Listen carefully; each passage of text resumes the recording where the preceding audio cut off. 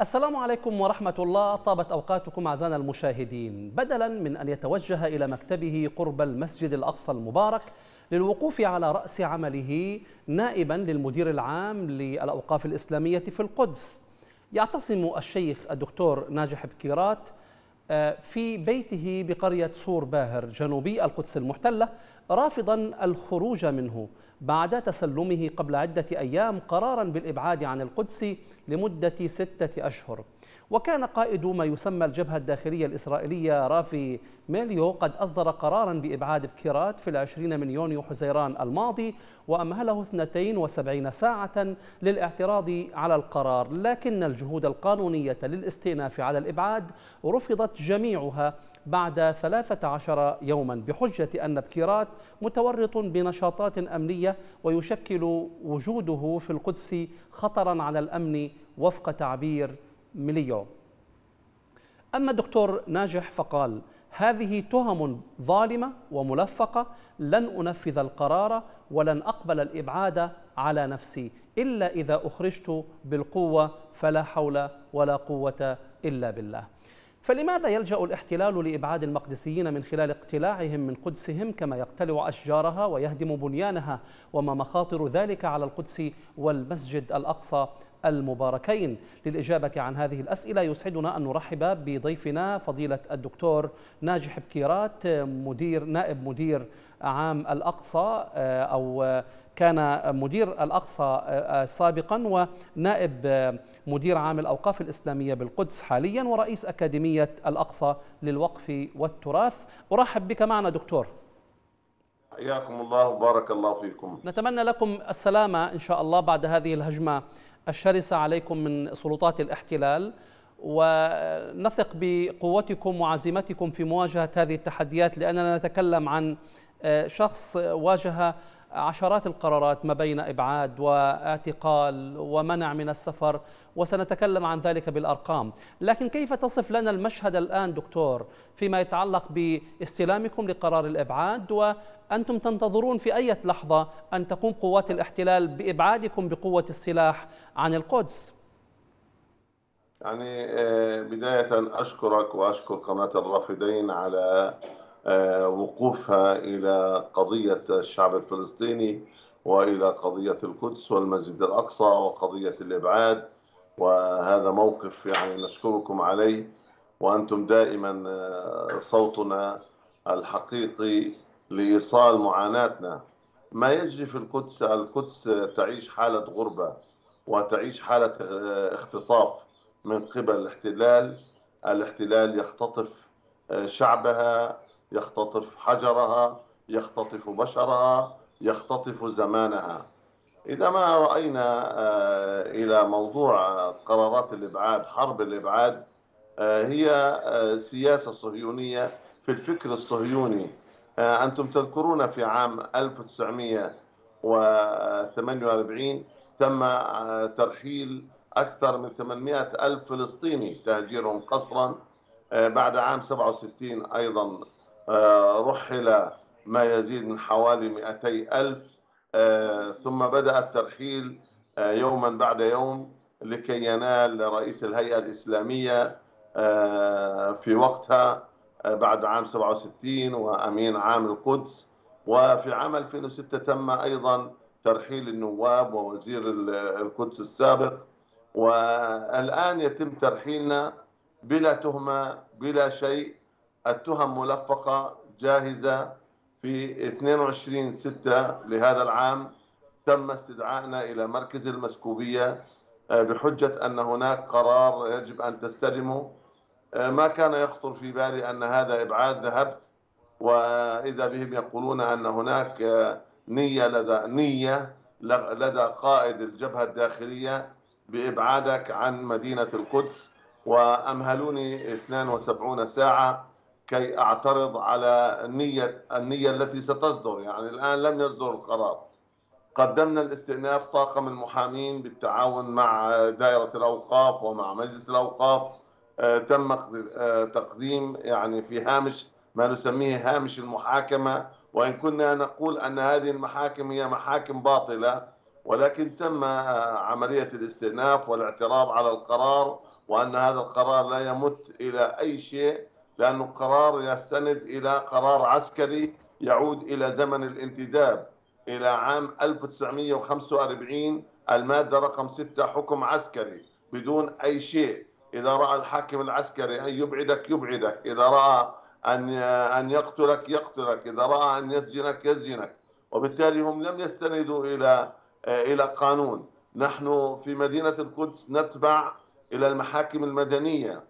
وبالتالي نحاكم محاكمة مدنية لا حتى الذين يقومون بأعمال أمنية يحاكمون في محاكم آه، مدنية لا يحاكمون في محاكم عسكرية كأبناء آه، إخواننا في الضفة الغربية أو في قطاع غزة كوننا نحمل البطاقة المقدسية.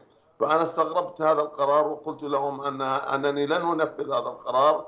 أنتم تحاكموننا تارة في المحاكم المدنية وتارة في المحاكم العسكرية. أين القانون؟ وبالتالي آه، كل هذه الاستئنافات وكل ما قدمناه في 2 7 تم استدعائي مرة ثانية آه، بحجة أن كل الاعتراضات رفضت وتم تسليم قرار الخروج فورا من كل المدينة وتم تسليم خارطة.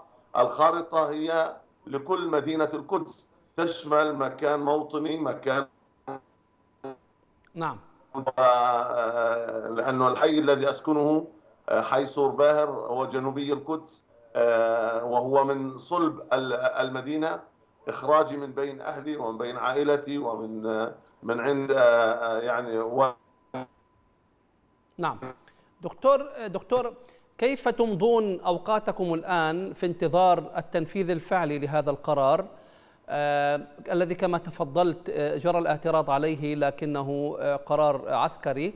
كيف تمضون وقتكم الآن؟ وحدثنا أكثر عن هذه الخريطة. يعني هذه الخريطة توضح لك المناطق التي تستطيع دخولها والمناطق الممنوعة أم ماذا بالضبط؟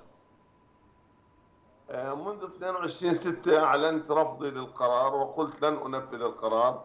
هو فعليا بدأ آه، يعني واعتبروني مخالف.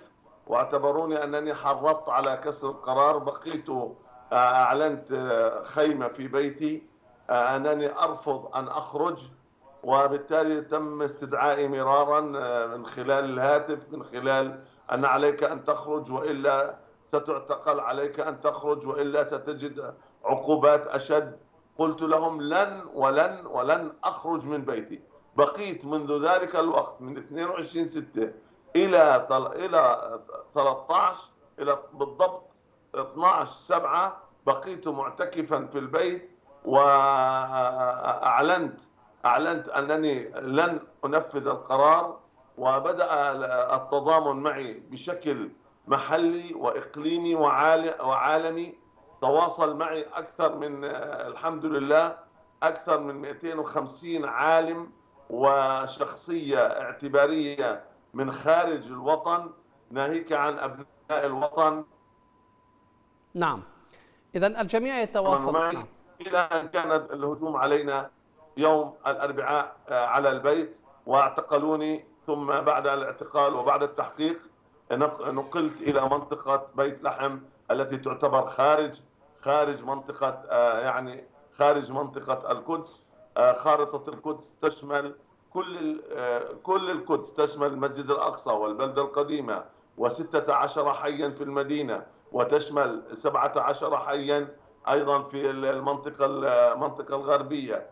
خارطة بكاملها من جنوبها إلى شمالها إلى غربها إلى جن... إلى شرقها. ممنوع أدخل هذه المدينة مطلقا لمدة ستة شهور. بدأ الفعلي من تاريخ 2 7 إلى 1 1 2024 ممنوع علي أن أدخل ولا أن أصل بيتي ولا أن أصل مسجدي ولا أن أصل آه، البلدة القديمة. وبالتالي الحقيقة أن آه، ما قاموا به هو عملية تهجير. هي ولادة للفكر الصهيوني الذي رحل الفلسطينيين. هي آه، يعني بين كلمتين هي خلق لواقع جديد. وتهجير جديد. البداية من هنا تبدأ كما بدأ الإبعاد في المسجد الأقصى في عام 2003 وكما بدأت الاعتقالات حينما بدأوا اعتقالنا في 1981 الآن آه، يبدأ عملية التهجير. اختاروا هذه الشخصية كي يروا ماذا يمكن أن يصنع العالم العربي ماذا يمكن أن تصنع الحاضنة الشعبية؟ ماذا يمكن أنا أنا سأسألك عن هذه عن هذه الموضوعات دكتور ماذا يمكن أن نصنع لمواجهة هذه القرارات؟ يعني في كل العالم لا يفهم كيف يمكن لقوة احتلالية أن تبعد شخصا بدون حتى إثبات الخطر الحقيقي الذي يمثله على ما يسمى بأمن كيانهم وكيف يبعد لمدة زمنية كثيرة. يعني حتى بعض المقدسيين من داخل القدس يبعدون عن الأقصى نفسه. وبعضهم يبعد عن المدينة كما جرى معكم. أنتم دكتور يعني أبعدتم عن الأقصى 32 مرة بمجموع سبع سنوات. استدعيتم عشرات المرات لدى مخابرات الاحتلال اعتقلتم 30 مرة. ومنعتم من السفر بمجموع وصل إلى ثماني سنوات أيضا غير متصلة. كما حكمتم عام 2015 ومنعتم من الحديث إلى وسائل الإعلام لمدة ستة شهور. كل هذه الرحلة الطويلة من المعاناة لم تثنيكم عن مواصلة طريقكم لخدمة المسجد الأقصى المبارك والمدينة المقدسة. من أين لكم هذه العزيمة؟ قل بفضل الله وبرحمته فبذلك فليفرحوا هو خير مما يجمعون. هذه طريق الأنبياء هذه طريق النخب هذه طريق العلماء ورثة الأنبياء. أعتقد أن ما قدمناه لا يساوي مسيرة شهر لسيدنا عمر رضي الله عنه هو والجند الذين ساروا من الجزيرة العربية في الرمضاء من أجل أن يستلموا مفاتيح القدس. كل ذلك لا يساوي تلك الدماء. 25 ألف صحابي نزفت دماءهم في طاعون عمواس وغيره وفي أجنادين وفي اليرموك. آه، نزفت من أجل أن تكون العدالة جاءوا من أجل العدالة. نحن آه، أقسمنا وعاهدنا الله أن آه، نكون في ثوابتنا نحمل العدالة الإنسانية نحمل ثوابتنا نحمي إرثنا. وبالتالي نحن استمددنا ذلك من تلك العقيدة التي آه، تربينا عليها. عقيدة العدالة عقيدة التضحية العقيدة التي إرث جدي عبادة بن الصامت وشداد بن أوس الذين رحلوا وسكنوا البيت المقدس. وبالتالي نحن آه، هذه العزيمة كما قلت لك هي من الله أولا. ثم ثقتنا بأننا على موعد قريب من الانتصار. ثم جذورنا التاريخية. ثم جذورنا الاجتماعية. ما من حجر في المدينة وما من سوق في المدينة وما من مأذنة في المدينة وما من مدرسة في المدينة وما من طفل في المدينة وما من شيخ في المدينة. إلا وله معنى حكاية. نحن رسمنا حكايتنا مع الأقصى حكايتنا مع القدس حكايتنا مع فلسطين حكايتنا مع شجر الزيتون حكايتنا مع الزعتر والزيتون. وبالتالي أنا أعتقد أن هذه العزيمة هي من صخرة بيت المقدس الثابتة التي تحطمت عليها كل أحلام الغازين وكل الذين أرادوا أرادوا نشر الفساد. وبالتالي آه، هذه العزيمة كما قلت هي عزيمة تربينا عليها وأعطيناها ورضعناها صغارا وشبابا حتى كبرنا أكثر من نصف قرن ونحن نتلمس حجارة البيت المقدس أكثر من نصف قرن ونحن نسجد على صخرة بيت المقدس فكيف لا يكون آه، آه، هذه العزيمة؟ وبالتالي كل والله كل القرارات التي صدرت ازددنا بها همة وازددنا بها رؤية وازددنا بها طمأنينة وازددنا بها يقينا أننا أقوى من المحتل. لأننا نحن أصحاب الأرض يا أستاذ. نحن جذورنا الباقية. هم كشجر كما نقول نحن آه، يعني آه، كشجر النتش. هذا الشجر يطفو على وجه الأرض ولكن إذا ما ضربته ضربة واحدة ينخلع تماما. أمامك تراه كأنه ممتد طاف. هو كزبد البحر وبالتالي أعتقد أن الاحتلال بدأ يعني يترنح وبالتالي هذا الترنح هو الذي يدعوه ويخاف من كلمة الدكتور ناجح يخاف من حركة الدكتور ناجح يخاف حينما يقف الدكتور ناجح على باب العمود ويشرح عن باب العمود ويخاف حينما يقف الدكتور ناجح ليبين حرب الحفريات وخطورة هذه الحرب على المدينة الإرثية العالمية يخاف حينما يقول بأن الاحتلال يصادر في محيط هذه البلدة بمصطلحات أتى بمصطلحات مصطلح الحوض المقدس ومصطلحات تهويدية 3750 مصطلح واسم تم تغييرها من أسماء إسلامية وعربية وفلسطينية إلى أسماء يهودية. وبالتالي حينما نقف أمام هذه الرواية نقف أمام الرواية التوراتية نقف أمام حرب الاقتحامات أمام حرب الحفريات أمام حرب الهوية والوجود. نشعر بأننا نحن استطعنا أن نكون شيء شيء وشيء واقع واستطعنا أن نكون رأس حربة نعم. للأمة. لأن صحيح أن الأمة ربما ضعفت وفي في مرحلة من المراحل ولكن الأمة تنهض يوما بعد يوم. نعم. الأمة لن سنأتي إلى هذا سنأتي إلى هذا الموضوع دكتور. نعم. سنأتي إلى هذا الموضوع دكتور.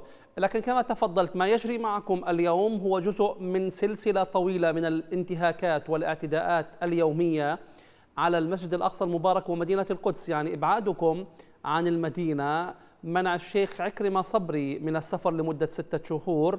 الاستيلاء من المستوطنين استولوا على منزل صبلبا يعني إذا كان الدكتور ناجح مثلا والدكتور عكرمة وغيرهم من الشخصيات وهنادي حلواني التي يمنعوها من دخول الأقصى بين فينة وأخرى كلهم يؤثرون على الأمن الإسرائيلي. فماذا فعلت عائلة صبلبن التي استولى المستوطنون على منزلهم قبل عدة أيام؟ آه، تحت حكم القانون بين قوسين الحكم الظالم بقوة القانون. هذا كله بالإضافة لما تفضلت به دكتور 3750 اسم لمعلم وزقاق وشارع ولا أعرف يعني غيرت إلى الأسماء العبرية. كل ذلك لتزييف الحقيقة آه، الماثلة بأن هذه الأرض وهذه القدس والأقصى لنا. آه، صحيح. يعني عائلة صب لبن وغيرها وقبلها عائلة كامل الكرد وقبلها عائلة الغاوي وقبل هذا في حي الشيخ جراح. آه، إذا أنت تنتقل من البلدة القديمة إلى حي الشيخ جراح ثم يأتونك إلى عائلة قراعين في سلوان ثم يذهبون إلى عائلة في الطور. وإذا بنا نحن أمام مسلسل. هذا المسلسل هو عملية تطهير تطهير لهذه المنطقة التي حدثتك عنها ومصادرة أكثر من 2500 دنم في محيط البلدة القديمة. هذا كله يا أستاذ تحضير لمشروع تهويد المدينة وجعل المدينة هي مدينة يهودية بشعبها يهودية ببنائها باستيطانها يهودية بروايتها وبالتالي حينما يطلقون ما يسمى بالحوض المقدس على مساحة ثلاثة كيلومترات فالأقرب من الشمال حي الشيخ جراح ولنا فيه معاناة من أكثر من عشرين عام وسلوان كذلك من التسعينات إلى الآن تعاني من منطقة الجنوب. إذا سلوان من الجنوب الشيخ جراح من آه، من اليسار البلدة القديمة في المحيط في الوسط والأقصى بين فكي كماشة. نعم. وضع الأقصى بين فكي كماشة هو الهدف الإسرائيلي الواضح. تفضل دكتور كنت تتحدث عن محاصرة الأقصى يعني أولا هم حاصروا المدينة طوقوها بالمستوطنات ثم طوقوا البلدة القديمة بالاستيلاء على بعض المنازل بين فينة وأخرى ثم الآن يطوقون المسجد الأقصى المبارك. نعم آه هذا يعني تجديد الخناق هو ما يسمونه الآن آه في السيناريو طرح أكثر من سيناريو في كتاب اسمه أحلام اليقظة. آه، كتب في عام 1972 كتبه أشتاين آه، كتب سيناريوهات كثيرة كيف يمكن التخلص من الرؤية البصرية للمدينة العربية. آه، مدينة القدس حتى الآن بعد خمسين عام خاصة البلدة القديمة ما زالت تعطيك الصورة العربية الإسلامية ما زالت تعطيك التناغم الإسلامي المسيحي. لا تجد فيها مظاهر الاحتلال. رغم مرور خمسين عام كرؤية بصرية قبابها معادنها كنائسها أجراسها آه، أزقتها أسوارها وأيضا محيطها من المحيط الشرقي هو محيط محصن جدا بالوجود العربي ومحيطها الشمالي ومحيطها الجنوبي. المحيطها الغربي سقط في عام 48 38 قرية تم تدميرها وتهجيرها بداية من لفتة إلى قالونيا إلى عين كارم إلى المالحة حتى تصل إلى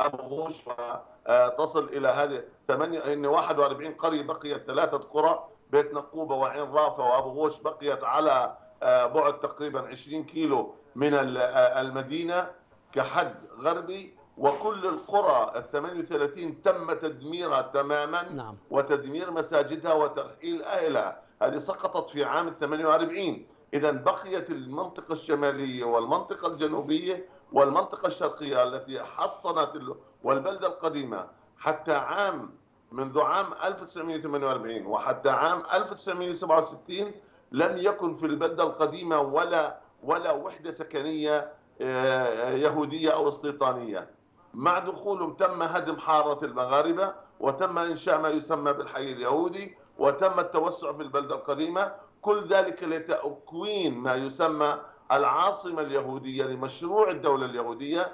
تم توسيع ذلك من خلال ما يسمى بالحوض المقدس. أيضا إنشاء وحدات سكنية والبؤر الاستيطانية. وتم أيضا على بعد خمسة كيلومترات إنشاء طوق طوق من الاستيطان وصل من الجنوب جبل المكبر ومنطقة منطقة العزارية الخان الأحمر ووصل إلى منطقة شعفاط زقاد زئيب ووصل إلى نعم. كل هذا دكتور نعم. آه. آخر نعم. نعم.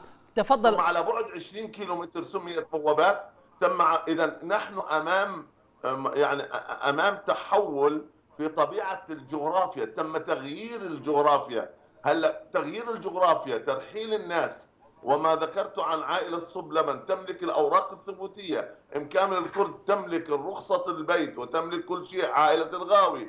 نحن نملك كل الحقيقة ولكن في ظل الظلم وفي ظل النفاق, النفاق العالمي الغربي ال ال ال الذي وقف فقط مع احتلال آه، أو حرب روسيا وأوكرانيا وقف مع أوكرانيا وكأن وكل العالم بالمليارات والأسلحة و و و ولم ينتبه إلى 100 عام 100 عام والشعب الفلسطيني يعاني.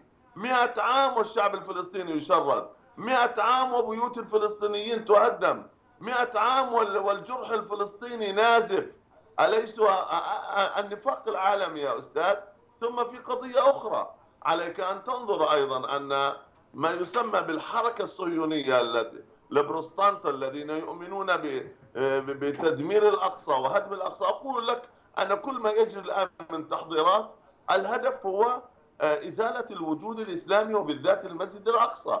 وما اختراع الديانة الإبراهيمية وما اختراع كل ذلك إلا من أجل أن أن نفقد هذا المكون الرباني الذي آه، نعم. يعني ليس هو قضيتنا قضية فقط فلسطين أو قضية أنه أبعد الشيخ ناجح حتى يعني يخلو لهم الجو في الأقصى. إنما هذه ولا قضية آه، الشعب هذه قضية أمة. وبالتالي نحن نريد أن نعيد أن نعيد القضية إلى حقيقتها.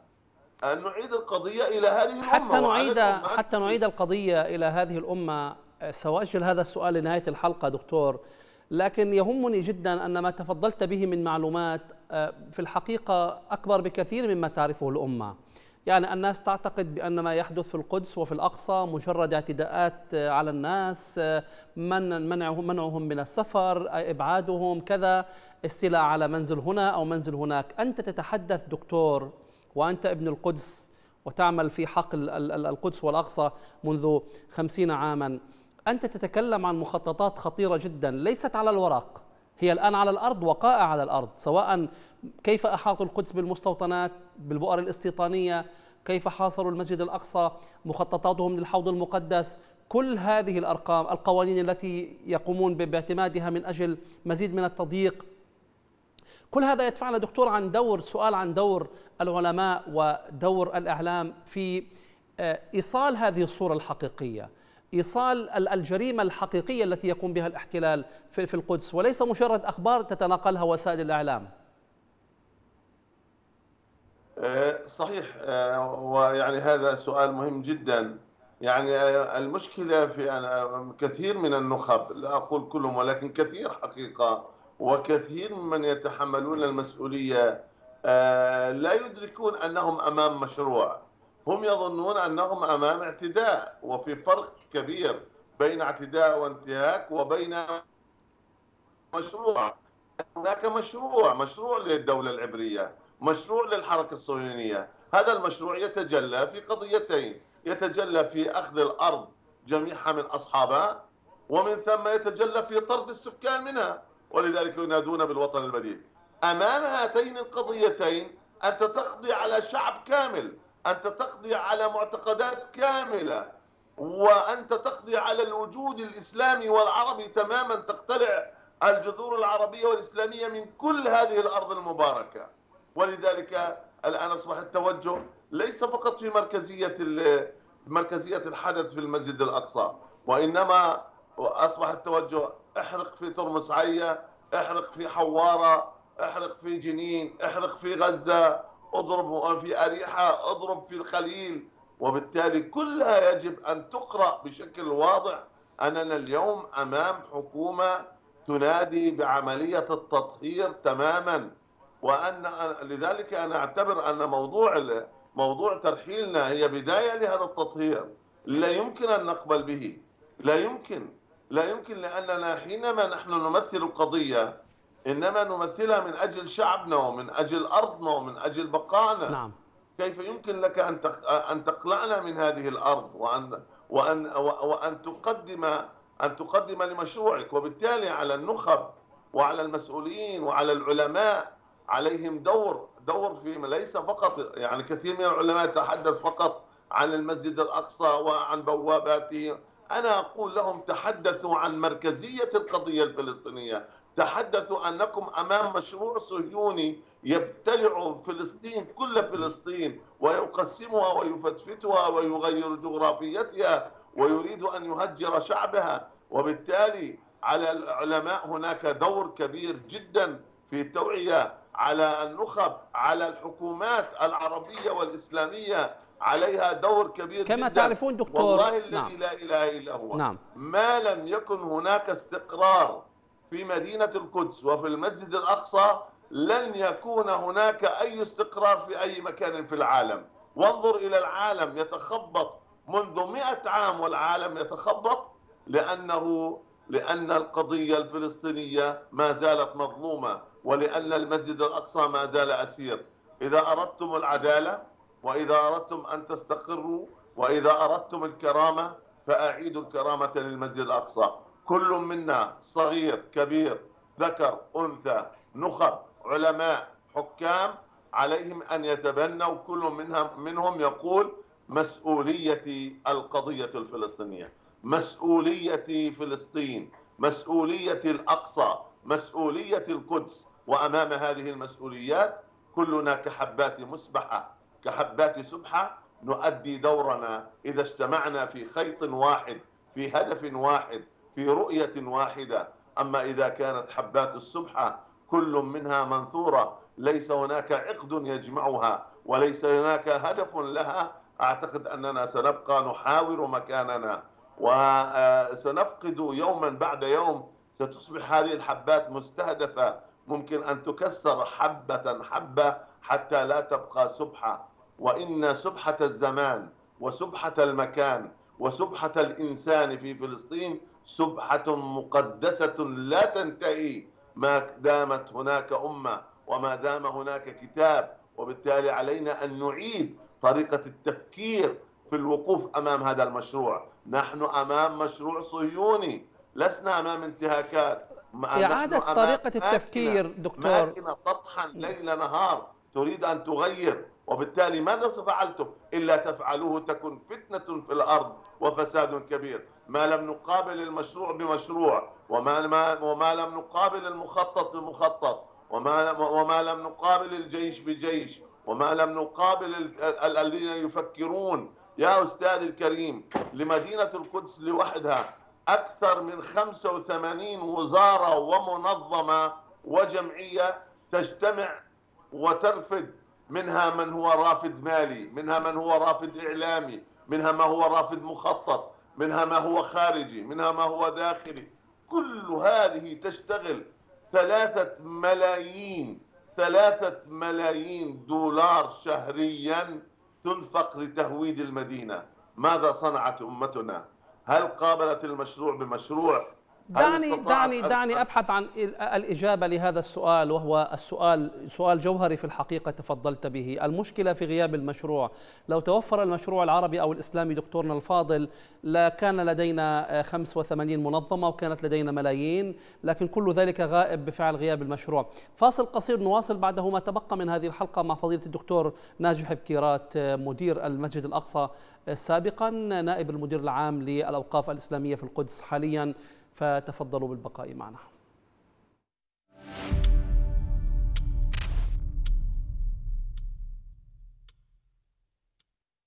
نرحب بكم من جديد أعزائنا المشاهدين. كما نرحب بضيفنا الدكتور ناجح بكيرات مدير الأقصى المسجد الأقصى سابقا ونائب المدير العام للأوقاف الإسلامية بالقدس ورئيس أكاديمية الأقصى للوقف والتراث. مرحبا بك معنا دكتور مرة أخرى. مرحب حياكم الله أهلا وسهلا بكم. كنا قبل الفاصل نتكلم عن غياب المشروع العربي الإسلامي في مواجهة المشروع الصهيوني الغربي الاستيطاني الإحلالي المجرم الذي يستهدف كل شيء في فلسطين المحتلة حتى اليوم مخططات مؤسسات منظمات وزارات تستهدف القدس وجوهرة القدس المسجد الأقصى المبارك بينما بالكاد بالكاد تعلق بعض الأنظمة والحكومات أو الجهات الرسمية على الأحداث المهمة في الأقصى. بالكاد تصرف وتصل المبالغ المخصصة. يعني بعض الهيئات العلمائية لديها نشاط أكبر من أنشطة بعض الوزارات في الأنظمة العربية والإسلامية مع الأسف. ولا يصل للقدس من الأموال التي من المفترض أنها مخصصة للقدس إلا الفتات. فلماذا إلى هذا الحد التقصير في قضية مركزية من قضايا الأمة؟ يعني دعني أقول أن هناك عدة عوامل دعت إلى انخفاض المشروع. المشروع موجود ولكنه لا يرقى إلى مستوى أن يكون مشروعا متكاملا مشروعا مفتتا مشروعا مجزأ مشروعا لا يملك خطابا مشروعا لا لا يملك تمويلا. مشروعا الكل نظر إليه على أنه ربما يعني يحل بقدر بقدر غائب. وبالتالي أنا أعتقد أن مواجهة المشروع الصهيوني يحتاج أول ما يحتاج يحتاج إلى وعي. ما لم نعيد الذاكرة وما لم نعيد تعميق الوعي لدى لدى الأفراد أينما كانوا ولدى جماهيرنا العربية والإسلامية. الوعي بالقضية الفلسطينية الوعي بأهميتها الوعي بمكانتها مكانة فلسطين مكانة القدس. الوعي بأهمية أن تكون القدس حاضره من العالم الإسلامي. ما لم ينتج من هذا الوعي نخب قوية مدركة لها ثوابت وبالتالي حينما يغيب الوعي تغيب الثوابت وحينما تغيب الثوابت تضيع يضيع الإنسان ويضيع العمران ويضيع كل شيء. وبالتالي حينما قال إسحاق الفرحان رحمة الله عليه قال كلمة قال إن القدس احتلت ثقافيا قبل أن تحتل عسكريا. نعم. إن القدس احتلت ثقافيا قبل أن تحتل عسكريا. وبالتالي إيجاد نخب واعية قادرة على أن تتمسك بثوابتها وأن تستطيع أن تدير هذه الثوابت من خلال منظومة. هذه المنظومة منظومة فكرية ومنظومة ثقافية ومنظومة أيضا اقتصادية ومنظومة إنتاجية وليست منظومة استهلاكية. إذا وجدت هذه المنظومة من خلال هذا الوعي نستطيع أن نقول أن بداية المشروع العربي لتحرير هي قادم، هذه هذه نقطة مهمة. النقطة الثانية نعم. إذا استطعنا تعميق هذا الوعي وهذا بالتالي يحتاج إلى إعلام ويحتاج إلى مال ويحتاج إلى مدارس ويحتاج إلى قضايا كثيرة جدا نعم دكتور نحن معك. اذا هذه هذا الإعلام والخطط حتى لإيصال هذه هي ليست مجرد معلومات هي المعلومات التي تقود إلى وعي وإلى حراك وإلى آه، ثورة حقيقية عند الناس يعني. أنه الناس عندها معلومات كثيرة عن الأقصى وعن القدس لكنها هذه المعلومات لا تفعل بها شيئا. نعم. إذا الموضوع حينما نتحدث عن تعميق الوعي لا نتحدث عن لا نتحدث نعم. طيب. نتحدث عن تعميق وعي إنتاجي وعي منتج. وليس ما قيمة أن يكون أن, أن أكون قرأت المكتبة كل هذه المكتبة ولم أحرك ساكنا في قيمها. اسمح لي أن أقول لك أن كثير من الناس إلا من رحم ربي يعني كالحمار يحمل أسفارا يعني ما قيمة وضعت كل كتب القيم والأخلاق ووضعتها على إنسان وهو لا ينفذها. وبالتالي نحن نمتلك كأمة من القيم والمبادئ التي تحرك فينا تحرك فينا الثورة تحرك فينا التغيير تحرك فينا الإنتاج تحرك فينا أن نكون أمة حية وليس أمة ميتة ليس أمة ميتة. وبالتالي إذا أصبحت فقط مجرد مجرد الثقافة فالكل يعني كثير من الناس مثقفين ولكن هذه ثقافتهم هي ثقافة ذل وفي فرق كبير بين ثقافة الذل وبين ثقافة الحرية وثقافة العزة والكرامة. بمعنى أننا نريد من هذا الوعي أن ينتج جيلا يسعى إلى حريته يسعى إلى تحرير رقبته يسعى إلى تحرير مقدساته يسعى إلى أن ينهض بأمته يسعى لكي يكون جيلا تجميعيا وليس جيلا للتفريق. هذه نقطة مهمة جدا. النقطة الثانية أعتقد أن المشروع آه، موجود ولكنه متناثر وهو بحاجة ودائما نوجه أنا أقول الحمد لله الآن بعض المؤسسات آه، يعني خاصة التي تهتم بقضية القدس بدأت تدرك أنه لابد من التجميع والعمل بشكل آه، يعني موحد وأن نوحد رؤيتنا وأن نوحد أهدافنا وإلا ستصبح ضرباتنا في حقل كل منا يضرب فيه ضربة يمينا أو يسارا. ولسنوات نأتي لا زرعنا ولا حصدنا ولا أنتجنا ولا حرثنا لأن هذا هذه الضربات صحيح كانت ضربات صحيحة وموفقة وكانت مشاريع جيدة ولكنها كانت مشاريع على الهامش. ويبقى الهامش هامشا ويبقى المتن متنا. فإذا ما اتحد المتن مع الهامش أنتج لنا رواية أنتج لنا حاضر. إذا ما اتحدنا واتحدنا في فكرنا وفي رؤيتنا نعم. بعدما نوجد هذه القاعدة الواعية من النخب وعلى كل المستويات بعد على هذه عليهم أن يجتمعوا وأن يوحدوا رؤيتهم وأن يوحدوا استراتيجية وهذه الاستراتيجية تبنى على مراحل ولا تبنى فقط على العواطف. لا تبنى على العواطف تبنى على مراحل. هذه أول هذه المراحل أن نكون على أرضنا أن نحافظ على زيتوننا أن نحافظ على إنساننا. أول هذه المراحل أن نستثمر الإنسان المقدسي نستثمر الطفل المقدسي نستثمر الذي يصلي ركعتين في المسجد الأقصى هو مقاوم. الطفل الذي يبيع الكعك في سوق العطارين هو مقاوم.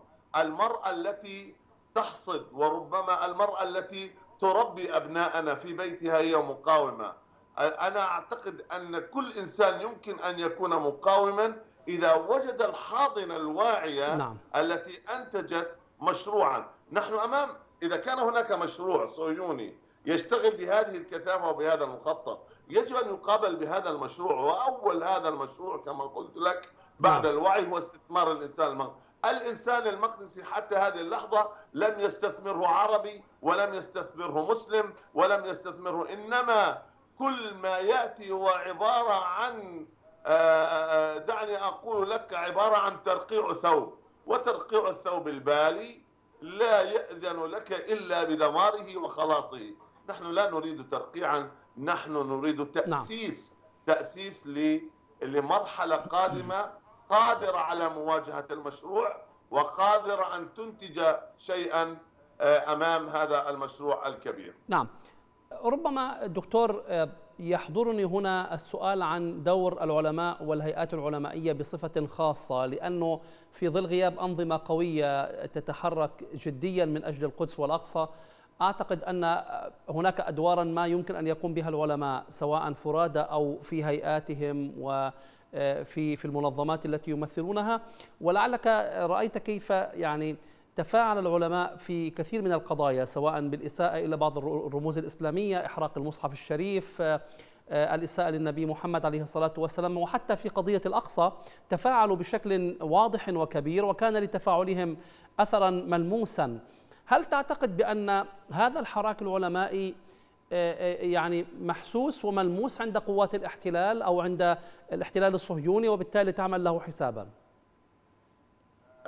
قطعا أنا أعتقد أن دور العلماء هم ورثه الأنبياء العلماء عليهم أن يختاروا إما أن يكونوا مع الحق وإما أن يكونوا مع جماهيرهم إما أن يكونوا مع ثوابتهم وإما أن يكونوا مع سلطانهم.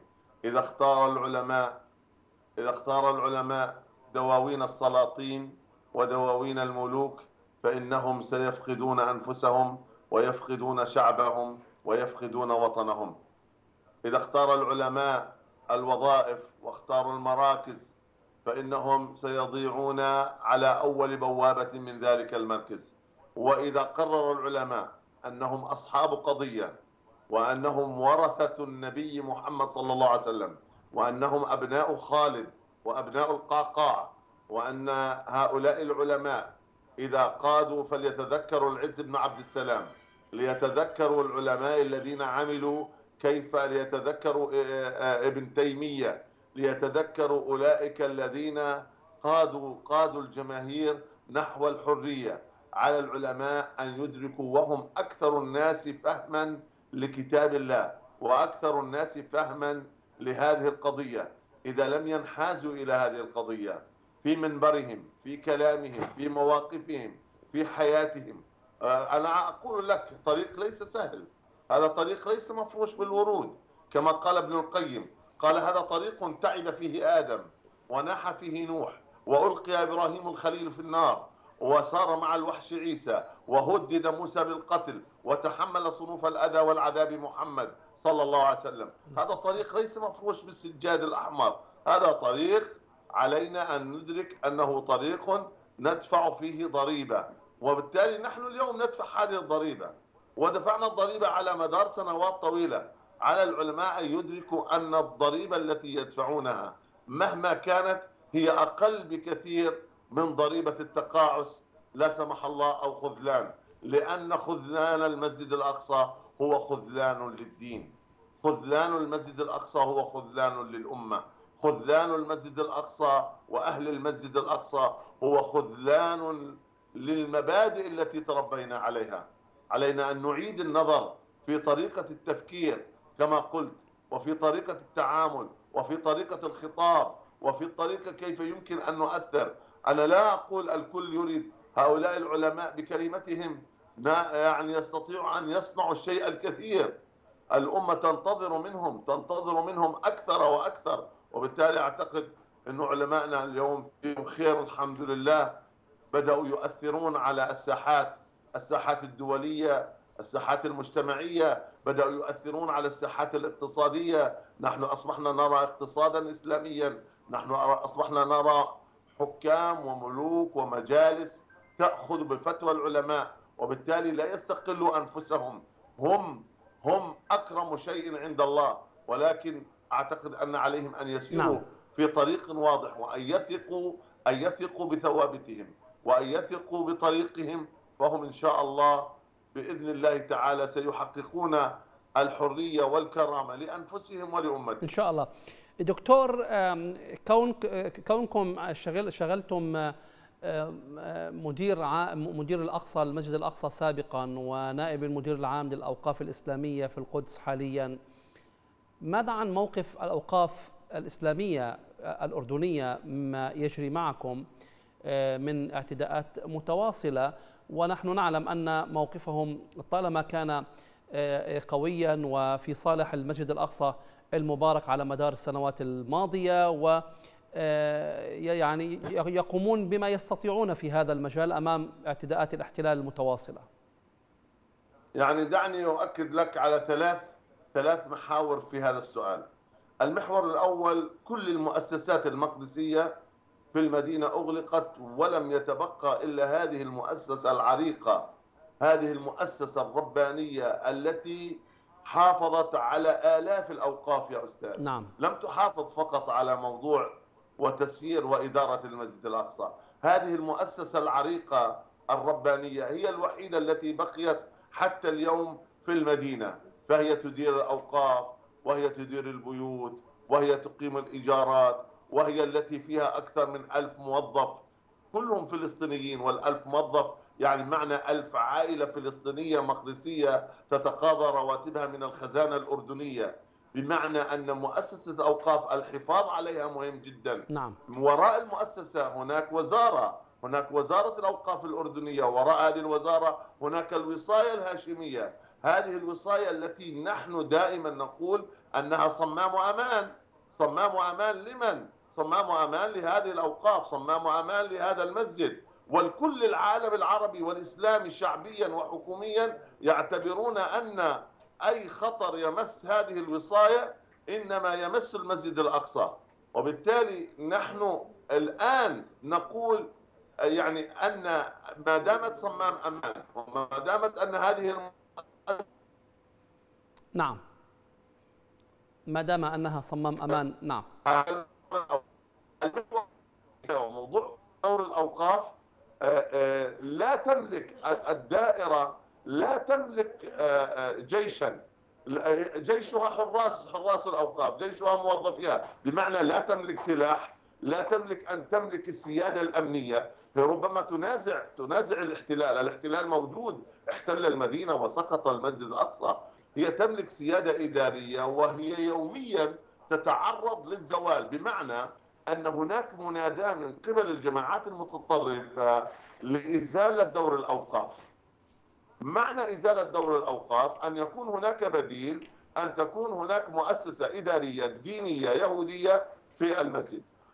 وهنا الخطورة لذلك النقطة الثالثة المهم أننا نقول أن هذه الدائرة بحاجة إلى إدارة راشدة بحاجة هذه الدائرة إلى من يقف بجانبها وبحاجة إلى تفعيل تفعيل أكثر وأكثر مع جمهورها. لا يمكن أن تبقى الدائرة فقط محصورة مع موظفين. لا يمكن أن يكون فقط مجلس الأوقاف يقرر في بعض القرارات وتكون محصورة وبعيدة عن عن الجمهور المقدسي. لابد من توسيع توسيع نطاق التعامل والتلاحم مع الجمهور المقدسي حتى يكون هناك آه، قوة رافدة للأوقاف التي كما قلت وأشرت وأكدت على أنها صمام أمان. نعم. وعلى أن هذه الدائرة مستهدفة ومستهدفة من قبل الجماعات المتطرفة. يا أستاذ من 2010 إلى الآن أكثر من 35 آه، آه، كتابة صدرت بحق الأوقاف تطالب بإلغاء دور الأوقاف. وهذا موجود. ادخل على المواقع. من أراد أن أن يشاهد ذلك ليدخل على المواقع للجماعات المتطرفة ويشاهد يعني في بعض الأحيان نادوا بشكل واضح أنهم لا يريدون اوقافا ولا يريدون موظفين ولا يريدون شيء هم يريدون يريدون القدس بلا مقدسيين وبلا وبلا أي أثر نعم. عربي وإسلامي دكتور. صحيح. لذلك أشكرك جزيلا دكتور. هذه المحاور نعم. يعني هي تجيبك على طبيعه هذا الدور. نعم. فهو دور مركب لابد يعني في الوقت الذي نحن نحافظ عليه ونحن بنينا هذا الدور. نعم.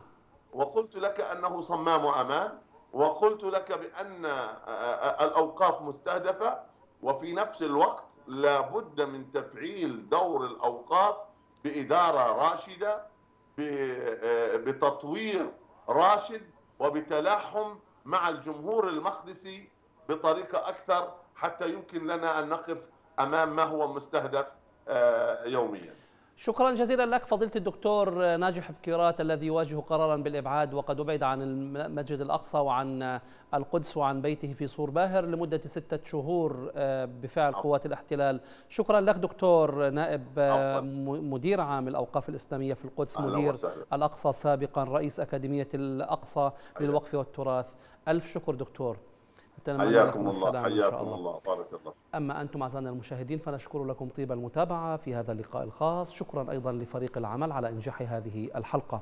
تذكروا دائما إن ينصركم الله فلا غالب لكم. السلام عليكم.